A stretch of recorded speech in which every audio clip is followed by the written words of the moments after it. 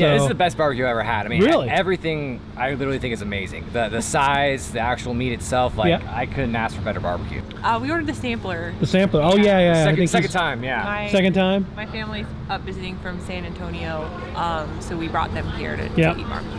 Nice. Do your thing. Ready? Hey guys, and welcome back. Today we are at Third Coast Barbecue. So you ask, what is the Third Coast? Well, we got the East Coast, we got the West Coast. The Third Coast is the Gulf of Mexico. Ah, now you're getting it. So yeah, this is the Third Coast Barbecue, and we are here for some epic barbecue. I've heard that this place has some really great ribs, uh, some great brisket, and some peculiar items that we're gonna have to check out. So yeah, come along with me. We're gonna join up uh, with the owners here. Uh, Nick Rama's with me as well, and we're gonna showcase Third Coast Barbecue. Let's get going. See if we get it.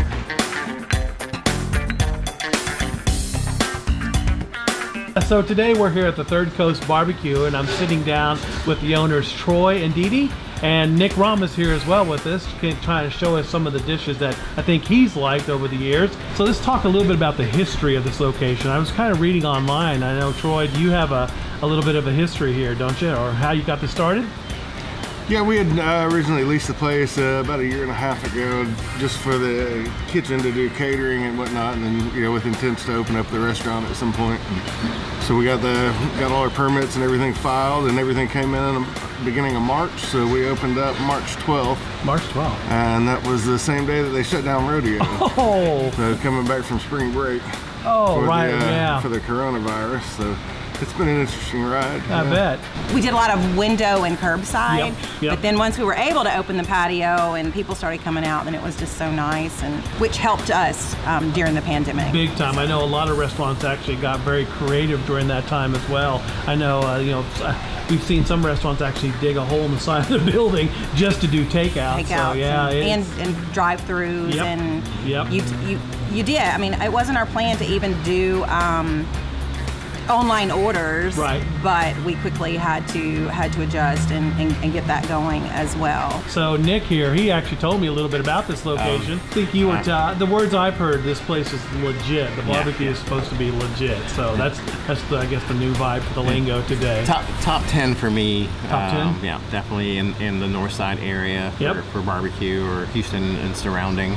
Um, I'm going to touch back on the when we opened, when our children were here, and we were all, you know, here trying to, you know, survive. So my husband said, when we, he's like, I have a case of the big pretzels, or you know, some of the pretzels at one of our vendors, and so we pulled the pretzel out, and we all started playing with it, and started putting meat in in the big mouth of it, and then he started playing with the dipping sauces. We eventually just named it. Um, obviously, it's a pretzel, so but it was the time that we opened in, and it's kind of a fun dish for our little family to come up with, and called it the the twisted tray. The twisted tray. Called the twisted tray. Um, you know, twisted time, but also um, now it represents more.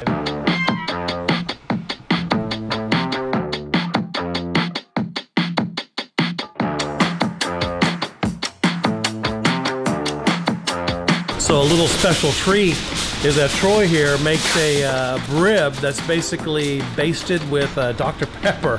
So we're gonna try this. It's something very unique. I've never heard of this. So you can see he's back here getting it all prepared. So we're gonna show how he kind of does this here in a second. Yeah, yeah. Uh, we uh, started out a while back. I was making a Dr. Pepper glazed for some hams uh Uh-huh. for Easter.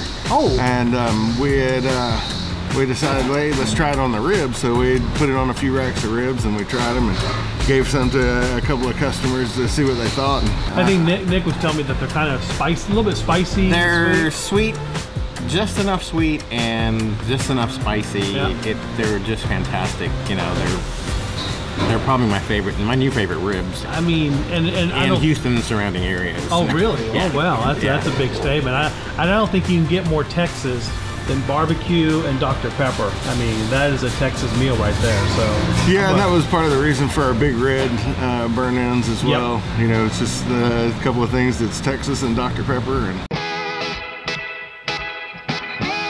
So Dee Dee brought us out the twisted tray. You can see it here. And you can get this with two different types of meats. I think, Nick, you got, what do you usually get it with? I usually get uh, their brisket because their brisket's fabulous, and either pulled pork or sausage. Right. Um, and what what's great is you have all these different sauces, so every bite can be different. Uh, you know, the Chipotle Ranch, um, their house-made um, queso or, or Mm-hmm. cheese sauce, beer cheese sauce. I mean, look, look at that mustard. I mean, It looks good. look at that. This It's, is like it's, it's just a fun dish. It's, I was gonna say, it's almost like Yeah. an appetizer, but yet it's got some, I mean, a lot of meat on this. This, I guess you could make this into a meal. You're trying, the, I'm gonna try the, uh, the jalapeno sausage here. Let's try this out.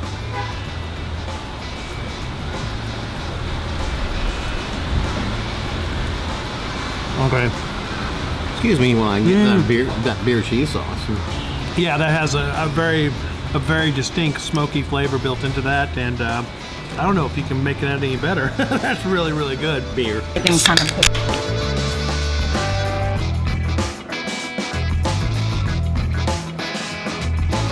Troy brought out a new dish he just now created. It's called the Baller Board. So I don't know if he's ever going to make this again, but this Oh, is, I'm this sure is he a- can. I'm sure he can. But there's a lot of food Um, here. this Uh, is the whole enchilada. yeah, yeah. There, there's This a, is this is everything they have today, um, except for the crawfish. yeah. Um, the big red pork belly burnt ends, brisket, chicken, turkey, jalapeno sausage. I think that's their hot link. Yep. Um, Red beans and sausage. red beans and rice, um, charro beans, um, their incredible mac and cheese, Yeah. their smoked collard greens, banana pudding, and then my favorite thing here so far to date are these Dr. Pepper ribs. Yeah. Really good. So this is the uh, Dr. Pepper rib. So you don't need any sauce on this, do you? We're gonna eat this just like it is. So you ready? Here we go. Oh, Right? okay. That's sweet. It's smoky. Dang, that's good. That's good. Man, look at this bad boy. So, you see the red? That's that's the big red reduction. It is um, crazy good. Pork belly. Pork belly burnt We're gonna in. try that. Pork belly burnt in with big red on it. Let's try this out. Oh. Okay, that's sweet. It's kind of got a sweet, buttery flavor. I guess that's the pork coming out of it. Really good. Banana pudding, just like Grandma used to make. Whoa. Actually, my grandma didn't make. I was gonna. Mine didn't either, but. Uh, But Heidi's did. I'm, I, am definitely going to try that. I'm a banana pudding sucker, so Yeah. I definitely want to try this. Mm. That's fresh. Mm-hmm. That's that is fresh banana pudding. So everything here, guys, is fantastic. Uh, everything's seasoned properly. it's a hidden gem. Yeah, it really is a hidden gem. And you can kind of see from the beginning of our video where it's located. So, you know, please do check this place out. I think, Nick, you actually have a special drink here as well. We're doing the um, Otto's root beer. 50 cents per uh, Otto's root beer goes to the Montgomery County Food Bank for Nick Local Chicken Charity. Yeah. So we have great food here, guys. Uh, it is a hidden gem, like Nick said, and uh, I would highly recommend you guys come out, here, especially up in the if you're up in the woodlands, come out here and check this place out. Like I said, everything here. That if you get the big baller, um, tell them that Mike and Nick said hi to you. And I think this is the first he's had this out here, but Yeah. So. it's a lot of food. So if you're bringing 20 or 50 people, get the big get the big baller. Nick and I are going to try or, to eat or four really big hungry men. four really big hungry men.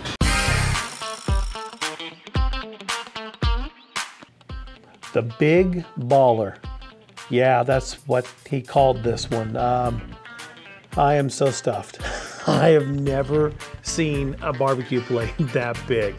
Uh, no, we did not eat it all. There is so much food. Nick and I just couldn't couldn't do it. But kind of gave you an idea of what menu items they have. Uh, the Dr. Pepper ribs, oh my gosh.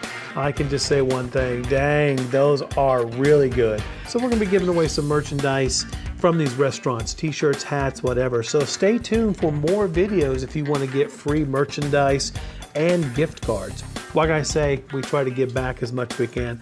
Again, thanks, guys. We do appreciate you watching our videos, and uh, we will see you guys soon. But right now, I'm going to sit back and uh, take an Alka Seltzer because dang, that was good.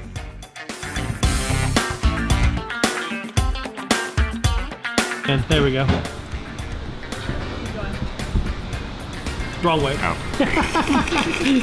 Sorry, one more time.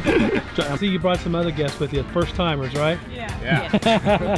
He's our nuclear physicist back there, so no. yeah, it's just secret.